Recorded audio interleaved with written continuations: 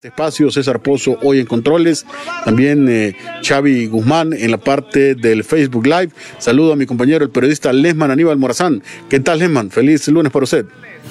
Ronnie, eh, bueno, por cortesía vamos a decir buenas tardes, Ronnie, pero no son buenas tardes, no podemos decir eh, en el sentido amplio de la palabra. La situación que están viviendo los compatriotas allá en la Florida no es nada fácil. Hay rupturas familiares, papá y mamá que ha tenido que abandonar eh, todo su patrimonio, lo más importante, separarse de sus hijos. De repente no hemos dimensionado la parte humanitaria y acá en el país medio mundo rasgándose las vestiduras.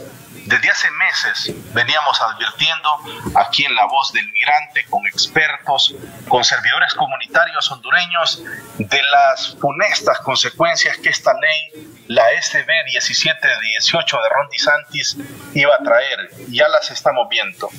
De hecho, eh, las secuelas se venían, se venían sintiendo, se venían mirando desde antes del 1 de julio que entró en vigencia esta ley grafoniana, una ley severa, una ley inhumana, una ley inconstitucional de acuerdo a expertos en materia migratoria, de acuerdo a expertos en materia constitucional allá en la Unión Americana.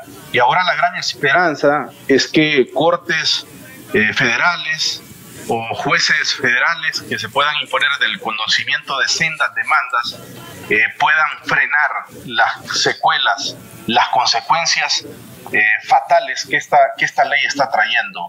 es una ley dura, considerada la más dura que actualmente existe en el territorio estadounidense, en el campo migratorio. Bueno, habiendo hecho esta rápida introducción, Ronnie, vamos a dar de inmediato la, la bienvenida a nuestros invitados especiales. Este es, eh, sin duda alguna, el tema del día aquí en La Voz del Migrante. El tema del día en La Voz del Migrante. Bueno, estamos conectados, estamos conectados con el estado de la Florida.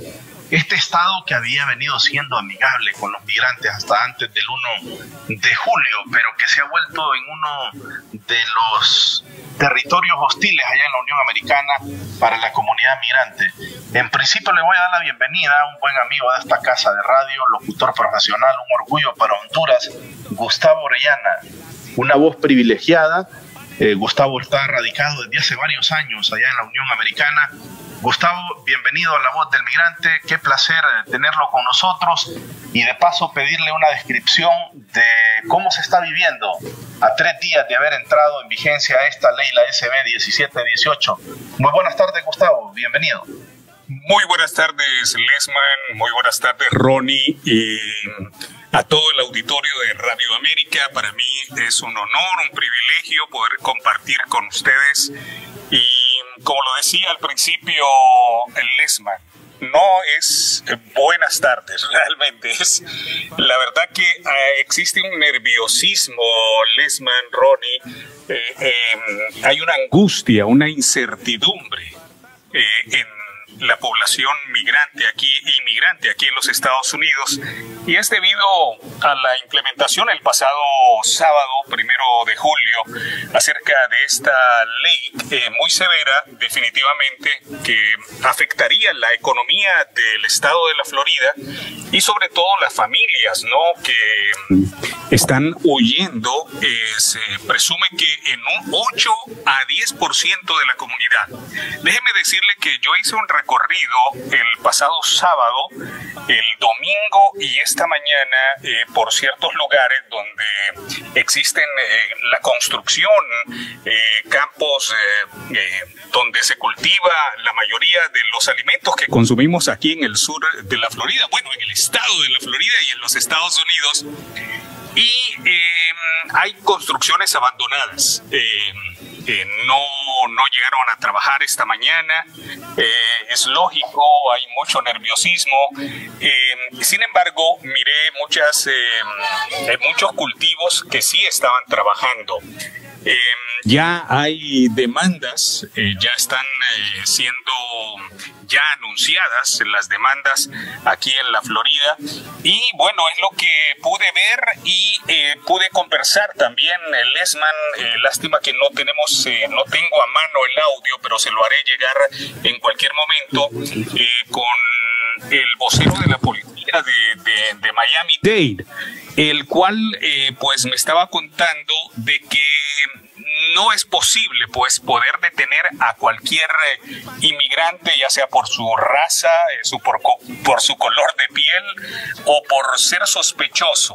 Eh, no le pueden pedir una documentación, por ejemplo, un número de seguro social, etcétera. básicamente ellos van a cumplir la ley si cometiste algún accidente, etcétera, alguna imprudencia en la carretera, pero no pueden detener a alguien. Em, es lo que puedo contarte, querido Lesman, y darle un abrazo fuerte a todo mi pueblo hondureño. Y bueno, estamos transmitiendo desde la oficina del abogado Eduardo Soto. Y la verdad que hay eh, soluciones para muchas personas que ignoran la ley de inmigración y que más adelante eh, tengo un invitado muy especial acá en el estudio, el abogado Jaime Babilonia, que va a estar con nosotros más adelante, Lesman y Ron. Sí. Eh, Gustavo, antes de escuchar al abogado, antes de escuchar al abogado Babilonia, que es un experto en temas migratorios, eh, me gustaría conocer eh, o que nos reconfirmara usted, Gustavo, por ahora no hay, no hay una cacería humana como, como se había previsto. Entiendo yo que hay jefes policíacos de algunas localidades en la Florida que están en contra de esta ley. Claro está, es una ley, y siendo pragmáticos, como dicen los abogados, dura lex, pero es lex. O sea, la ley es la ley y debe de cumplirse. Pero eh, me agrada que hayan jefes policíacos con esa actitud solidaria y por ahora no hay una, no hay una cacería humana a tres días de vigencia de esta ley, Gustavo. No, eh, Lesman y Ronnie, en este momento, pues eh, no, no, no hemos visto em, eh, tal cacería, cacería humana dentro del estado de la Florida. No sabemos lo que está ocurriendo en las fronteras, por ejemplo, de Georgia y otros lugares donde pueda haber acceso al estado de la Florida si están cumpliendo con esa ley. Porque básicamente la ley dice, Lesman, que se va a multar y se va a detener a las personas que traigan hacia el estado de la Florida a personas indocumentadas. Pero frente a un delito, no, no solamente es una sanción de tipo administrativo, es una, una, figura delictiva. E, exactamente, Lesman. Eh, ahí está muy severa esa, esa ley, definitivamente. Bueno, es una ley, por eso decimos que criminaliza la, la migración irregular le voy a dar cabida a mi compañero Ronnie Salinas para que le haga las consultas directas al abogado Jaime Babilonia del staff del bufete del abogado Eduardo Soto. Él es un joven profesional experto en temas migratorios. ¿Existen posibilidades de, de frenar esta ley jurídicamente hablando? Ronnie Misael, adelante y escuchamos al abogado Jaime Babilonia. Muy bien, eh, muy interesante el tema, Lesman, porque hay interrogantes también de nuestros oyentes ya en el número del WhatsApp de Radio América consultando sobre lo que podría pasar con sus familiares ahí en el estado de la Florida. Abogado Jaime, gracias por eh, estar con nosotros conectado. Bueno, lo que mencionaba el compañero Lesman Aníbal Morazán, hay de alguna manera en los aspectos legales la forma de detener eh, las implicaciones que tiene esta normativa ahora que está en vigencia desde el pasado sábado. Les saludamos aquí en la voz del migrante de Radio América. Feliz tarde. Buenas tardes, gracias por la invitación. Eh, y la respuesta es que sí, lo más importante es que las personas tienen que consultar con sus abogados, eh, porque hay maneras en que las personas pueden protegerse de esta ley. Por ejemplo, si la persona entra a los Estados Unidos eh, porque sufre algún tipo de persecución en su país de origen, puede presentar un asilo, una, petición de asilo. De igual modo, si las personas eh, tienen algún familiar en los Estados Unidos con estatus legal que pueda peticionar, eh, también puede hacer una petición familiar. Si fue víctima de un crimen, eh, puede consultar con un abogado para ver si la visa U es, una alternativa. Así que lo más importante que tienen que hacer las personas es no quedarse de brazos cruzados, consultar con sus abogados, porque cada caso es diferente. Así que lo más importante es consultar con sus abogados y buscar la manera de cómo protegerse eh, de los efectos de esta ley. Sí, uno de los aspectos que está preocupando a los migrantes y sobre todo, eh, de acuerdo al relato de nuestros eh, compatriotas hondureños allá en la Florida, es el hecho de la atención médica que esta ley está obligando a los que van a brindar el servicio médico que deben reportar de forma inmediata a las autoridades el estatus eh, legal o no del migrante que busca la atención médica. ¿Cuál debe ser el comportamiento en un momento en el cual se busque un centro asistencial para eh, recibir eh, la asistencia de un médico y con la ley en vigencia, abogado? Sí, ciertamente es un riesgo ahora mismo la ley eh, entró en vigor hace apenas tres días, así que no, no tenemos muchos ejemplos en la vida real de cómo se está implementando, pero ciertamente hay una gran preocupación de que por el mero hecho de buscar asistencia médica sea referido a un proceso de, deportación. Eh, de igual modo, se están entrenando, he escuchado que han estado entrenando a, guardias en, las cárceles para investigar o verificar si las personas tienen estatus legal. Si no los tienen, los refieren lo que se pronostica es que probablemente refieran a las personas. Eh, y eso es un riesgo. Por eso es que le insto a las personas a que, por favor, ¿verdad? Que, que vayan con su abogado, con su... en un momento. Y, y tal vez puedan eh, protegerse de esa manera. Sí, eh, abogado, en el aspecto de interponer recursos contra esta normativa, ¿Ya se tienen algunas eh, fechas establecidas de cuándo se va a proceder contra esta ley SB 1718? Bueno, fechas no tengo confirmadas, pero sí sé que hay organizaciones de derechos civiles que han hecho declaraciones públicas que van a retar la ley y la están llamando inconstitucional. Eh, así que ciertamente las demandas van a venir, no me sorprende, esto yo me lo esperaba, porque es una ley muy fuerte. Así que ya organizaciones como la ACLU, que es la American Civil Liberties Union, y la ACLU de la, de la Florida, junto con otras organizaciones de derechos civiles, han expresado eh, su plan de retar esta ley en las Cortes Federales. Sí. Eh, eh, el hecho de interponer estos recursos abre la posibilidad que quede en suspenso la aplicación, ¿verdad? Ese sería el beneficio inmediato. Correcto, y como es una ley que tiene tanto eh, tiene tan alto interés público, probablemente llegue hasta el Tribunal Supremo de los Estados Unidos. Es una posibilidad. no sabemos cuán, cuán lejos llegue, pero lo más probable es que pueda llegar hasta el Tribunal Supremo de los Estados Unidos y queda en la mano de los jueces del Tribunal Supremo de los Estados Unidos determinar si esta ley del Estado de la Florida cumple con la Constitución de los Estados Unidos. Y eso es lo que vamos a estar viendo en estos próximos días y meses. Sí, abogado, si comparte su número o, algún teléfono que esté disponible para las personas que quieran eh, comunicarse, de presentarse una ¿Alguna dirección electrónica, normativa? Sí. Sí, eh, el número de la oficina de Eduardo Soto es el 305-446-8686.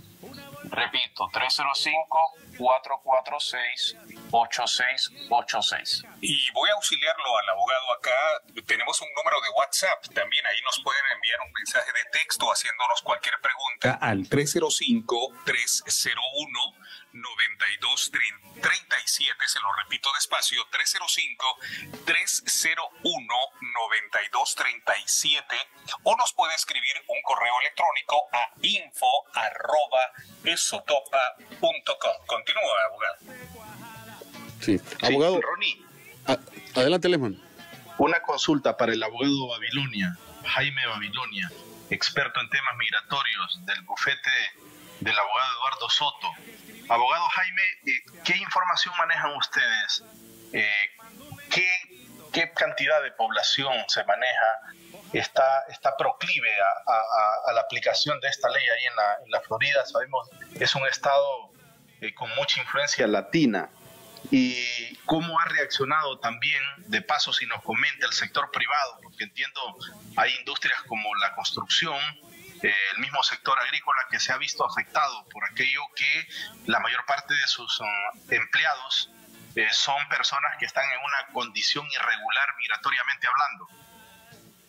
Sí, eh, son más, ¿verdad? Están bajo riesgo, eh, mayormente la comunidad eh, latina, porque como saben es el grupo más grande eh, de indocumentados en el estado de la Florida y sabemos que en el condado de Miami-Dade la mayoría de los residentes son latinos hispanos. Así que sin duda alguna esta es la, la población que está bajo el mayor de los riesgos bajo esta ley. Las empresas, como acabas de mencionar, tienen que tener mucho cuidado porque también tienen bajo esta ley están obligadas a utilizar el sistema de verificación y verify para verificar si la persona que han contratado eh, o, eh, o empleado tiene estatus legal en los Estados Unidos.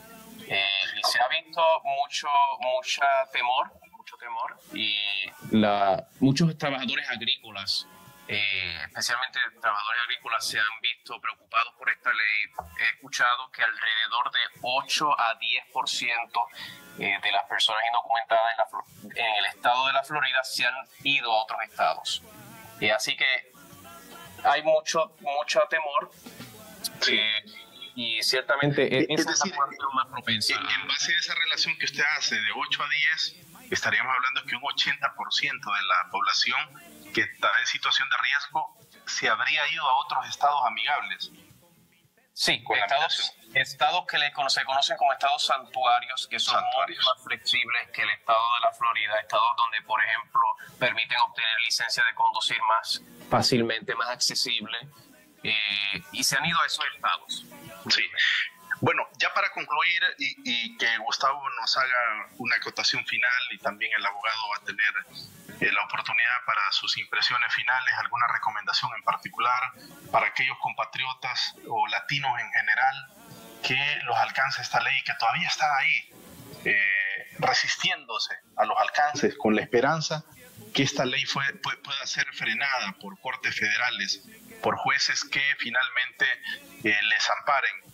Gustavo, bueno, ¿Qué se espera, eh, ¿Qué se espera para las próximas horas? Esa es la gran expectativa. Eh, que eh, las demandas que se van a promover tengan eco. Hay una situación acá lamentable en el país que se ha estado cuestionando duramente, Gustavo, y me gustaría un comentario de su parte. Con Ronnie compartimos. Imagínense, mientras nuestra gente allá en, en, Miami, en otros sectores, en otras zonas de la Florida, se están resistiendo a esta dura ley, a esta ley inhumana. El vicecanciller para asuntos migratorios, abogado Jaime Babilonia, sabemos que usted es de origen puertorriqueño, pero ha tenido mucha relación con nuestra comunidad hondureña. Nuestro vicecanciller para asuntos migratorios se da el lujo de estar en Colombia. Allá anda el hombre viaticando en un congreso disque migratorio. Eh, y lamentamos, sabemos que son decisiones autónomas eh, incluso ahí internamente el gobierno federal no incide muchas veces en las decisiones de cada estado allá en la Unión Americana, pero por solidaridad humana creímos que a esta altura debió haber existido siquiera un comunicado de parte del gobierno de la República. Pero el vicecanciller de la República, que le gusta mucho hablar en los medios, es muy amigable con, con las cámaras, Ronnie, está en Sudamérica eh, ¿Le merece, Ronnie, algún comentario? Y luego eh, le dejo ahí para que le traslade el micrófono al, locutor profesional, a nuestro colega Gustavo Orellana. Adelante, Ron. Sí, lamentamos, Lesman, lamentamos esta actitud de nuestras autoridades, porque esta ley tuvo varias eh, semanas eh, de vacatio antes eh, de entrar en aplicación.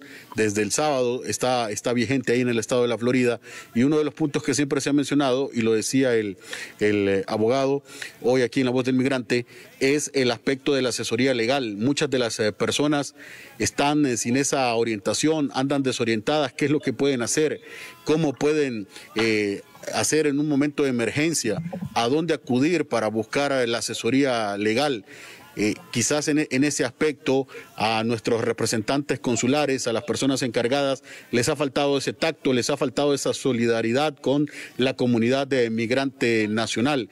Sabemos que estas leyes son independientes eh, eh, en cada estado allá en la Unión Americana, cada estado es soberano en tomar sus decisiones, pero por lo menos la orientación, que en los consulados puedan existir los profesionales del derecho que, puedan orientar a, a los connacionales. Yo esta mañana en algunas cadenas latinas en Estados Unidos, eh, escuchaba que en algunos eh, consulados de El Salvador, en, consulados de, Guatemala van a estar con asesores legales para poder eh, orientar a su población. Y en el caso de Honduras, creo que esa falta de solidaridad o esa falta de empatía con nuestra comunidad, sobre todo en ese aspecto, de poder decirles si se les presenta una emergencia, van a estar algunos eh, apoderados legales que quizás nuestro consulado ha facilitado para que les puedan ayudar y les puedan orientar. Pero lamentablemente nuestra comunidad está desorientada y con ese nerviosismo de lo que implica el alcance de esta ley que eh, de repente nos hemos quedado cortos con las dimensiones que tiene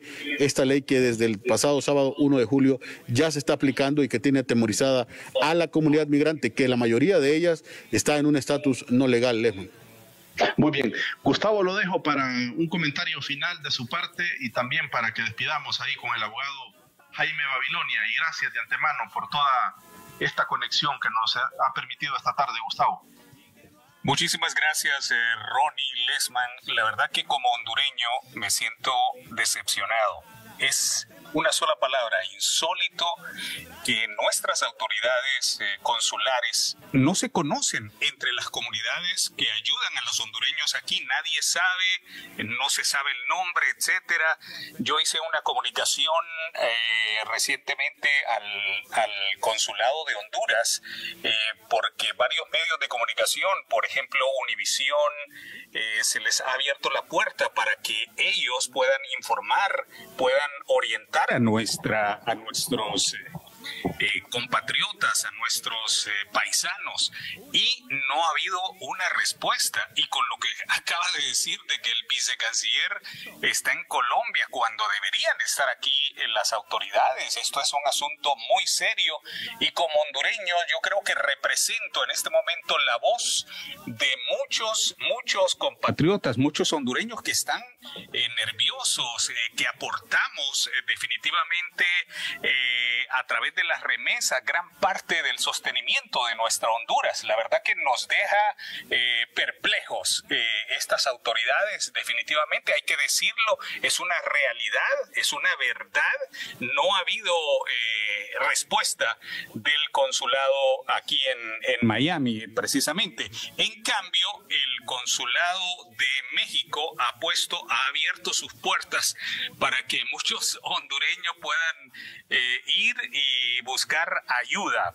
Eh, pero aquí estamos en la oficina del abogado Eduardo Soto, abiertas nuestras puertas para que muchos compatriotas puedan venir e informarse. Cualquier pregunta que tengan, anoten ese número de teléfono, el WhatsApp, el 305. 301-9237. Se lo repito, 305-301-9237. El abogado Eduardo Soto tiene un gran aprecio por la comunidad hondureña, siempre lo ha dicho, y la verdad que él está dispuesto eh, para ayudarles, igual que aquí el staff de abogados en la oficina del abogado Eduardo Soto, como es el caso del abogado Jaime Babilonia. Muchísimas gracias y un abrazo a nuestra comunidad hondureña y Dios nos va a respaldar, Dios va a hacer justicia. Con esto de las demandas sé que va a haber un efecto especial. Muy bien, gracias Gustavo. Y dejo para que el abogado dé una impresión final. Abogado Jaime Babilonia. Sí, yo sé que mucha gente está bien preocupada por esta ley. Eh, Estados Unidos no es un país perfecto, pero es un país democrático y hay libertad de expresión también. Así que esto, más que un tema de derecho y de justicia, es un tema político también. Todos sabemos que Ron DeSantis eh, se está tirando para ser el próximo presidente de los Estados Unidos. Yo lo que recomiendo a la comunidad es que, número uno, vaya a, con sus abogados, haga sus consultas. Y número dos, que estén envueltos en activismo político, que se reúnan, que llamen a sus representantes, que llamen a sus senadores, que llamen a la oficina del gobernador, que hagan marchas en todo el estado y juntos tal vez podamos lograr una diferencia, un cambio positivo. Muy bien, ha sido un honor, abogado Jaime Babilonia, joven profesional, experto en temas migratorios, y también gracias al compatriota, al hermano, al amigo Gustavo Orellana, locutor profesional, una de las voces privilegiadas que Honduras tiene allá en la Unión Americana. Gustavo, ojalá que no sea la primera ni la última conexión que hagamos desde la Florida. Gracias. Y bueno, eh, estoy compartiendo, Ronnie, mire la foto del vicecanciller para asuntos migratorios, Tony García. Honduras dice participa en una reunión preparatoria para la conferencia regional de alto nivel sobre migraciones de 2023. Dejémonos de cuentos.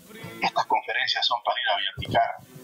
Yo creo que el vicecanciller donde debería estar es ahí en la Florida, en el epicentro de esta problemática seria que está trayendo como consecuencia la separación de familias. Papá y mamá que ha tenido que dejar a sus hijos. O sea, esto no es ningún cuento. Esto es una situación real. Pero el vicecanciller para asuntos migratorios, el alto funcionario que la presidenta ha designado para atender el tema migratorio, para atender el tema de la comunidad migrante, anda en Sudamérica. Ahí lo ve usted, Ronnie. Estoy compartiendo con Xavi Guzmán, nuestro compañero en redes sociales, y veo bastante sonriente al vicecanciller. No le veo ninguna eh, preocupación, y no es para menos, ¿verdad? Eh, los viáticos de los altos funcionarios en este y en otros gobiernos, por acá alguien me dice que la tasa anda arriba ahí de los mil dólares diarios para un alto funcionario como el vicecanciller de la República. Qué pena, eh, le envié un mensaje al abogado Tony García, en horas de la mañana le envié un mensaje de texto para que habláramos de la temática. Desde el sábado mismo, más bien, que entró en vigencia, le envié un mensaje y ni siquiera se dignó en contestar, en responder, no a Lesman Morazán, sino a la comunidad hondureña que está radicada ahí en la Florida y que está sufriendo los embates de esta dura ley. Eh, Ronnie Misael, ahí está el vicecanciller de la República, sonriente desde Colombia, participando en este, bueno, de acuerdo a esta nota que entiendo ha sido redactada por por la gente de prensa y la Cancillería, Honduras participó, dice, en reunión preparatoria para la conferencia regional de alto nivel sobre migraciones 2023. El subsecretario de Asuntos Consulares y Migratorios, Antonio García, viajó a Colombia para participar junto a sus homólogos latinoamericanos y caribeños de 20 países en la reunión preparatoria para la conferencia regional de alto nivel sobre migraciones 2023 que se va a desarrollar en septiembre del presente año. Bueno, Ronnie, ¿qué le parece? Mientras la gente, como se dice, está jodida allá en la Florida, el vicecanciller se encuentra viaticando en Sudamérica. Lo dejo, Ronnie, para que vayamos a nuestra primera pausa comercial. Sí, bueno, en, la, en la cuenta oficial de Twitter del canciller de la República, Enrique Reina, él eh, eh, manifiesta y lo, publican como una de las eh, cosas que él planteó hoy en un foro televisivo. Él planteó que buscarán, buscarán conversar con Guatemala y con El Salvador para buscar una posición en común en esta, en esta temática. El, el canciller ha señalado que esta ley de, del gobernador Ron DeSantis viene a atacar precisamente al inmigrante, al sector migrante indocumentado y principalmente a los centroamericanos y a los eh, mexicanos. Eh, tengo entendido, Lesma, que el canciller de la, de la República, el señor Enrique Reina, ha, manifestado eh, su, su respaldo en el sentido, a la Florida, Ronnie, a Miami, en el sentido que, que es un puerto de entrada al territorio estadounidense. Nos parece que es una postura digna en lo personal, eh, solidaria de parte del canciller, pero del gobierno como tal y de la misma Cancillería deben de venir otras acciones. Hay gente que, como usted lo refería, Ronnie, está desorientada. Y todo su patrimonio está ahí en, en, Miami, en Jacksonville, en otras ciudades importantes de la, de la Florida y no ha existido ese acompañamiento, esa solidaridad que sí, por ejemplo, ciudadanos de la hermana República del Salvador, El Salvador tiene una red consular muy robusta, muy fuerte. Hay abogados expertos en temas migratorios, no desde ahora que entró en vigencia la ley, sino que desde hace varios meses vienen brindando orientación eh, Ronnie, de cómo la gente eh, podía eludir de alguna manera o podía paliar las consecuencias de esta ley que ya entró en vigencia desde el pasado viernes, Ronnie. Yo, yo creo, Lesman, que eh, eso es lo único que puede hacer, en este caso, una representación diplomática de, de, un país, porque cada nación es soberana de tomar sus decisiones y no digamos en la Unión Americana, donde tienen eh, sus leyes federales y sus leyes eh, por estado, y en este caso el estado de la Florida es soberano de tomar las determinaciones que consideren aunque a nosotros como centroamericanos, como hondureños, por el valor que representa la comunidad de migrante, no compartimos esta ley del gobernador Ron DeSantis, pero ellos son soberanos de aplicarla. Ahora bien, ¿qué pueden hacer nuestras autoridades? Y creo que está dentro de la lógica lo que están haciendo eh, los salvadoreños y los guatemaltecos. Hoy en la mañana, casualmente, en reportes que ahí están en las redes sociales, donde los medios latinos allá en la Unión Americana le preguntaban a representantes de los consulados de, Guatemala y de El Salvador qué están haciendo por la comunidad o, cómo, o, qué, qué, van a hacer como consulado.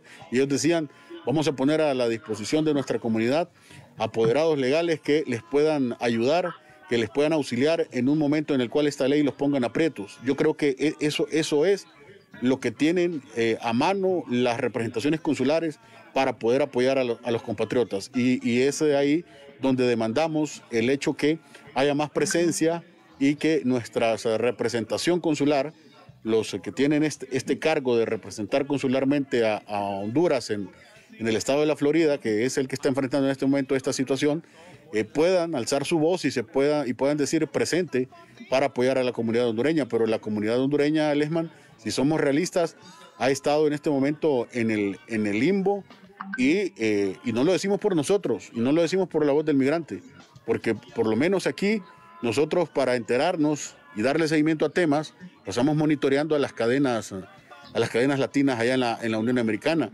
Y allá lo que observamos en, en las cadenas latinas son eh, servidores comunitarios hondureños que están con su opinión, pero de parte de las sedes consulares observamos representantes de la sede consular de Guatemala, observamos a representantes de las sedes consulares salvadoreñas y, los hondureños. No aparecen eh, representantes de las sedes consulares hondureñas, o sea, brillan por su ausencia o no tienen autorización de hablar, no sabemos qué pasa. Yo creo que eh, es, es, la única razón o la única forma en la que pueden auxiliar, auxiliar los consulados en este momento con esta ley, es eh, poner a la mano a disposición apoderados legales que puedan orientar a los hondureños que busquen ayuda.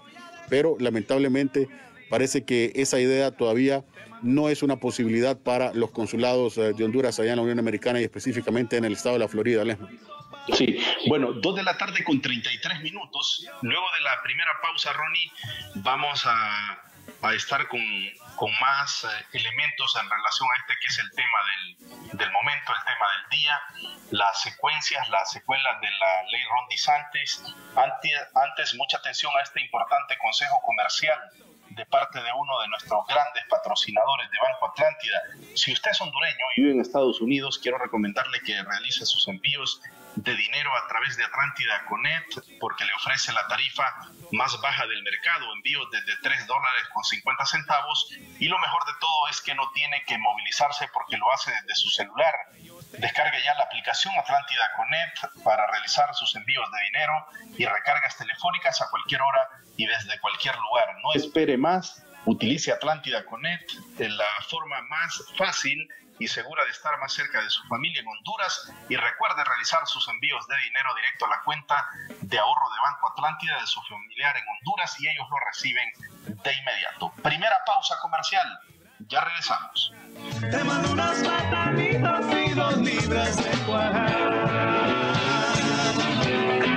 La voz del migrante si no pusiste la emergencia en tu carro, si el lápiz que buscabas estaba en tu mano, si fuiste a la potra pero olvidaste la pelota, si tu mente te falla, tómate una. Conoce el nuevo Serenerbon en cápsulas, una nueva fórmula reconstituyente para mejorar tu memoria, tu concentración y así activar tu mente. Cómpralo ya en pulperías y farmacias. Serenerbon, activamente. Informa. 95 20 20 80 Radio América. Comunícate a nuestro WhatsApp. Radio América. Dolor de cabeza, dental, muscular, articular, migraña. Los cinco dolores que pueden poner tu día en pausa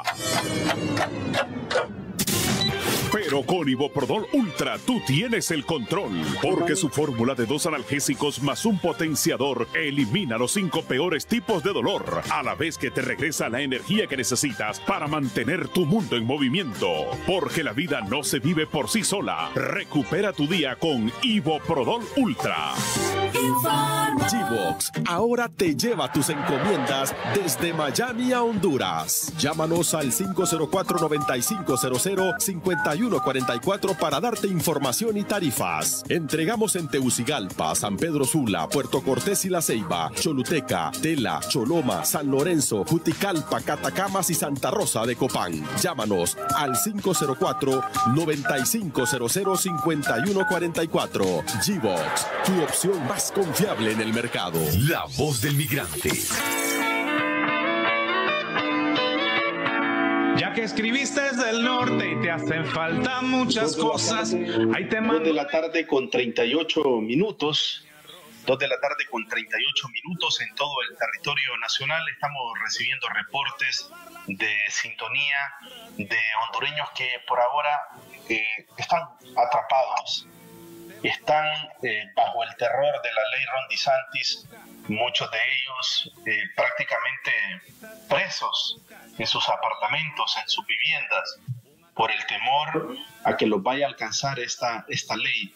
Estamos a propósito con Ismania Platero, defensora de los derechos de los migrantes. Ismania, que tiene una trayectoria en el tema de la defensa de los derechos de los migrantes. ¿Cuál es la visión que tienen ustedes como defensores de los derechos de los migrantes de esta que es considerada una ley inconstitucional desde todo punto de vista? La 1718, la ley, la ley Ron DeSantis. Ismania, bienvenida a La Voz del Migrante. Muy buenas tardes. Muy buenas tardes, eh, Lesman, a ti y a toda tu, tu audiencia. Pues eh, esta es la certificación de la criminalización de la, de la migración. Y no solo eso, es una, eh, una ley xenofóbica, discriminatoria, que violenta el principio de los derechos humanos como es la dignidad humana y con esto, claro, está eh, rompiendo eh, y, violentando todos los tratados y todos los eh, convenios en materia de derechos humanos. No solo porque ataca el tema de la salud, que hoy un migrante ahí en Florida no puede ir a un médico y si va al médico tiene que ser inmediatamente reportado a las autoridades migratorias para después eh, proceder contra ellos. El derecho a la salud, imagínate, al trabajo, eh, como tú lo dices, han estado encarcelados. Eh, están también sus abogados que no pueden hacer nada porque si, si meten las manos pueden ser anuladas sus licencias para trabajar allí en ese lugar. Y, y, lo más triste de todo esto es que se está extendiendo a, hacia otros sectores, como está pasando en, en Texas con Abbott que ha prohibido a los migrantes que tomen agua en algunos recesos en sus horas laborables y ahorita que la, la situación, la, el calor pues anda por unos 155 grados. Sí, bueno, qué pena, eh, Exmania, que un político sin escrúpulos, si bien es cierto, está en toda su facultad, el gobernador Ron DeSantis, de promover este tipo de leyes, pero eh, a todas luces, expertos allá en la Unión Americana están convencidos que este hombre promovió esta ley para darse a conocer, porque antes de la misma era un total desconocido, Ixmania, pero ¿a qué precio?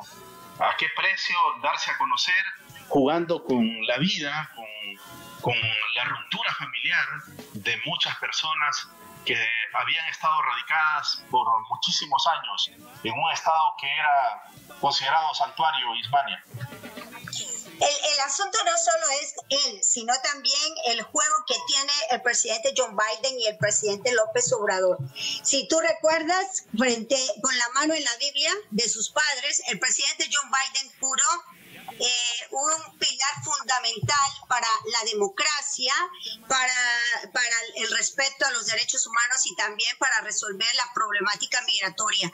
Pero hoy estamos viendo cómo se está haciendo negocio del sufrimiento de la población migrante entre el presidente López Obrador, que están en política, y que con la expulsión expedita de todos estos migrantes, muchos de ellos hondureños que ni siquiera están enrolados en, la base del Registro Nacional de las Personas, eh, van a ser recibidos en México nuevamente, reactivando aquellos convenios del programa Quédate en México. Entonces, es un negocio eh, definitivamente político, es un juego, el dolor humano que están haciendo, y, y lo que preocupa es esto. Mira, han mandado algunos videos de cómo está corriendo la gente en otros lugares, como, como en Nueva York, que es un santuario también, y, la población no haya para dónde agarrar y no hay pues eh, el, la, asistencia consular o un consulado móvil que pueda auxiliar ahorita a los migrantes.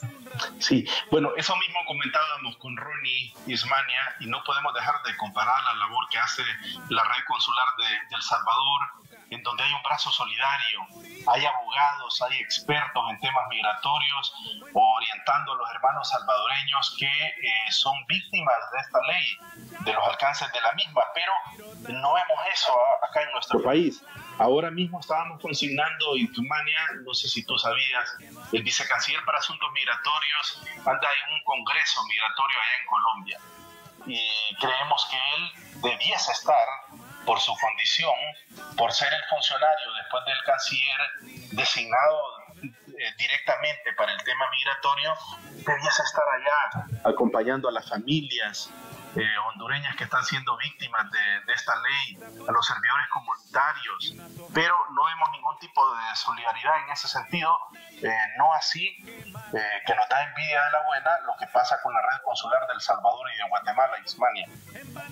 Claro, incluso México, mira, México ya mandó un equipo también para, para ayudar y proteger, eh, eh, resguardar la vida y, y, hacer ver a qué arreglos se llegan ahorita.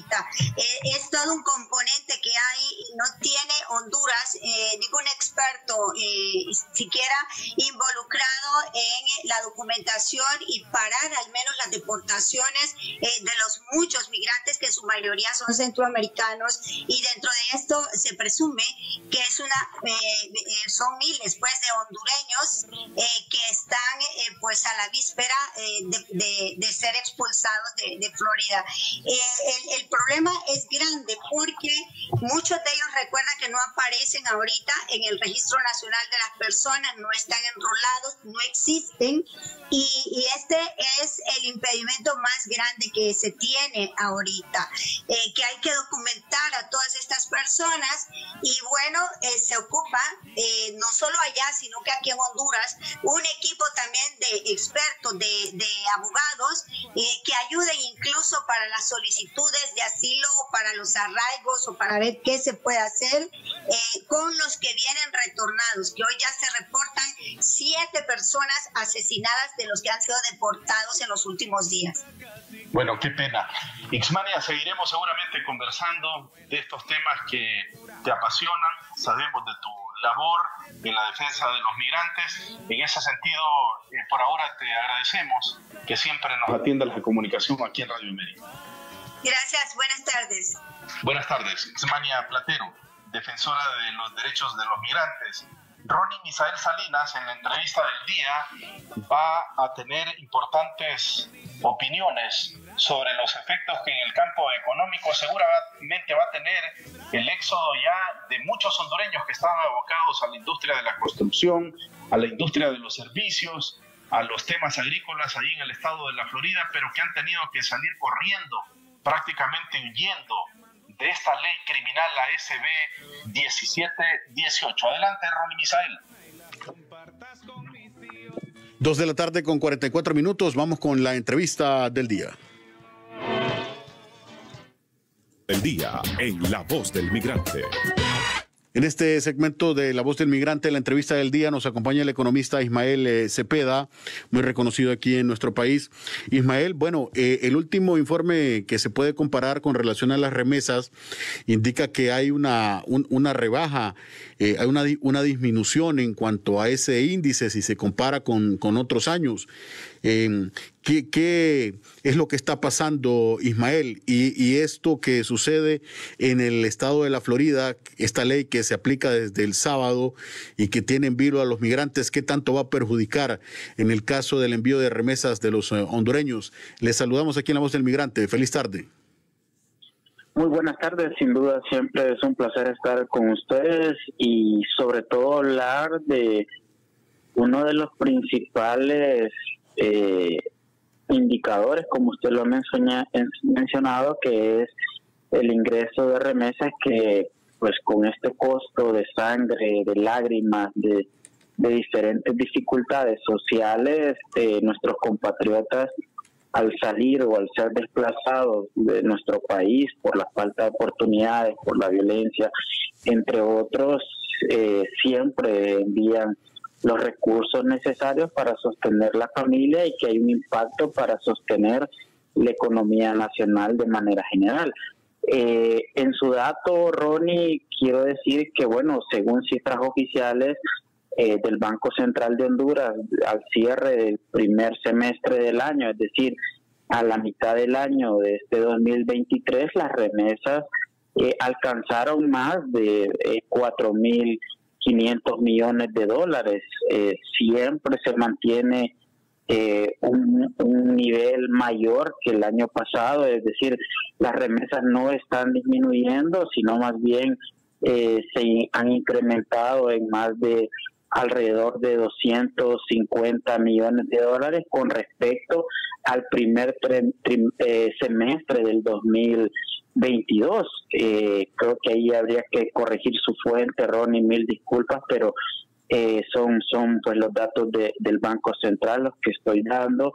Y luego, eh, sin duda va a haber una afectación particular de algunas personas, como lo ha mencionado en cabina el Lesman Morazán, de, de bueno, que va a haber familias que se van a desplazar y que va a tener pues sin duda un impacto en la generación de sus ingresos y por ende en la en el envío de remesas. Sin embargo, de manera general, sobre todo por la gran cantidad del éxodo que llevamos más de cinco años, seis años ya en un éxodo masivo eh, o un éxodo no solo para magnificarlo, usar masivo, pero en un éxodo que eh, las remesas pues van a llegar en prácticamente en el 2024 o 2025 a más de 10 mil millones de dólares.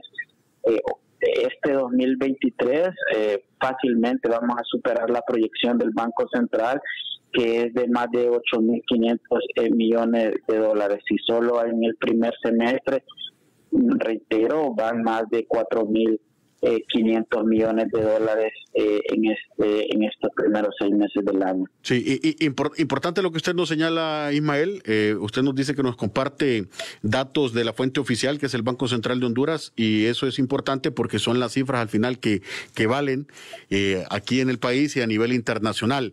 Ahora bien, yo sacaba ese dato del, del boletín del Consejo Hondureño de la Empresa Privada, donde señalaron ellos que la caída en las exportaciones de un 5.7% y un menor crecimiento en la recepción de las remesas familiares provocaron la caída de las reservas eh, internacionales. Y ellos hablaban que por el lado de las eh, remesas familiares eh, registró un crecimiento del 13%, un ritmo menor al que tuvo en el periodo comparativo hasta abril de 2022, cuando creció a una tasa del 22%. O sea, el COEP señala que el crecimiento en cuanto al envío de las remesas no ha sido tan fuerte como, como otros años. Así, es lo, así señalaba el Consejo Hondureño de la Empresa Privada. Pero bueno, son ópticas del sector empresarial. Las cifras que valen son las cifras oficiales del Banco Central de Honduras. Ahora bien, Ismael, e, esta ley SB 1718, ¿qué tanto puede afectar en, el, en este segundo semestre del año? Estamos comenzando un, un semestre que ha sido siempre un semestre importante en el envío de remesas. Esta normativa en el estado de la Florida eh, puede afectar el panorama eh, en, este aspecto del envío de remesas, Ismael? Bueno, como usted mismo lo menciona y haciendo referencia al, estudio del COEP, es que sin duda se tiene eh, un crecimiento, sin embargo, es menor que, por ejemplo, del 2022 con respecto al 2021. Por ejemplo, nosotros en el 2022, en este primer semestre, teníamos más de eh, 600, 500 millones eh, de dólares eh, con respecto al 2021 y como lo he mencionado, pues hay, hay sí un crecimiento, pero de alrededor de 200 eh, millones, 250 millones aproximadamente con el con el registro del 2023 con respecto al primer semestre del 2022 y bueno, sí hay sí hay un, un leve no es de crecimiento, sino un, menor crecimiento, pero siempre lo hay.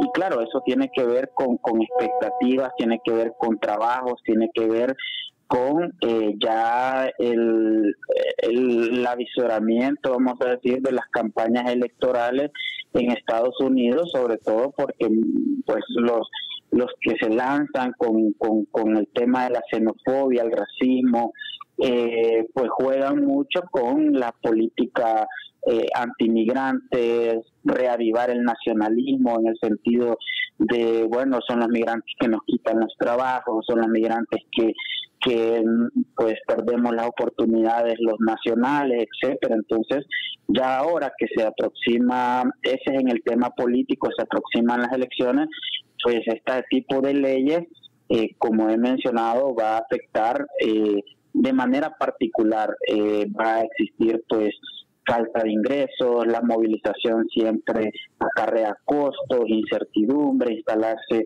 para nuestros compatriotas de un estado a otro eh, genera desánimo, estamos hablando que también eh, algunos van a quedarse en espera de que existan algún tipo de, de reivindicación legal o los movimientos eh, de los defensores de los migrantes, pues hay apelaciones, entonces, eh, sin embargo, ya la dinámica de empleo, sobre todo por el temor de que las sanciones son altas, se habla de hasta eh, 5 mil dólares, se habla de 10 mil en algunos casos de los empresarios, eh, van a tener que esperar y en esa espera puede llevar meses eh, y algunos, como se ha mencionado, toman la decisión, pues automáticamente de, pues eh, de movilizarse de un estado u otro. Eh, lastimosamente, pues nuestro país tiene poca incidencia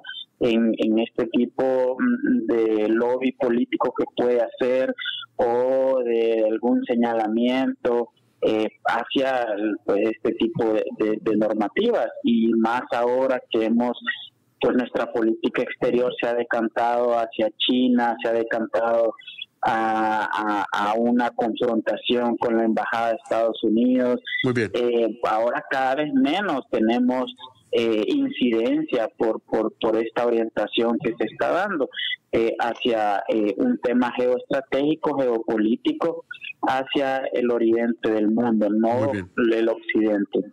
Muy bien, Ismael, le agradecemos por su tiempo. Siempre es agradable escuchar su comentario, su opinión sobre estos temas económicos y por supuesto el indicador de las remesas es muy importante para el sostenimiento de los hogares y de la economía nacional. Gracias, Ismael. Feliz tarde. Tarde. Ismael Cepeda, economista, eh, compartiendo su opinión con relación al tema de las eh, remesas, el panorama. Eh, bueno, a las, el porcentaje de remesas, Ismael nos aclaraba, continúa creciendo, no de la manera como ha, pasado en otros años, pero continúa fuerte y ojalá sí se mantenga a pesar de esta dura ley que entra en vigencia o que ya entró en vigencia en el estado de la Florida.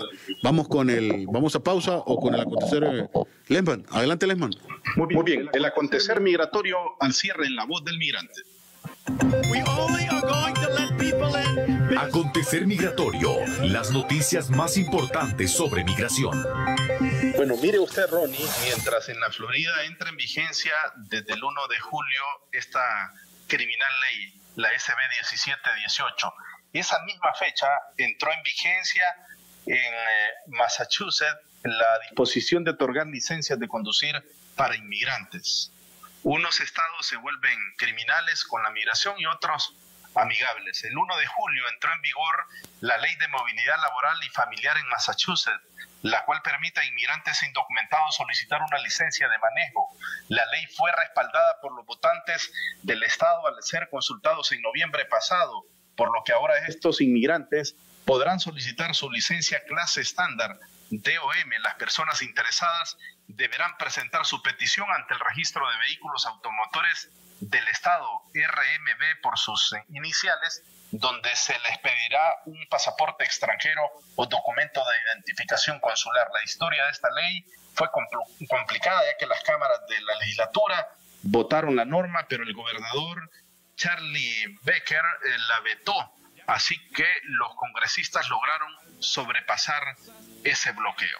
Bueno, buenas noticias en Massachusetts para los inmigrantes. Ha entrado en vigencia la ley desde el pasado 1 de julio que permite a los inmigrantes aplicar a licencias de conducir. No hay tiempo para más, solamente para decirles junto a nuestro equipo, Ronnie Misael Salinas, Xavi Guzmán, César Pozo, un servidor de ustedes, Lesman Morazán, gracias por su fiel sintonía. Nos encontramos, nos miramos y nos escuchamos el próximo miércoles a las 2 de la tarde aquí en La Voz del Migrante.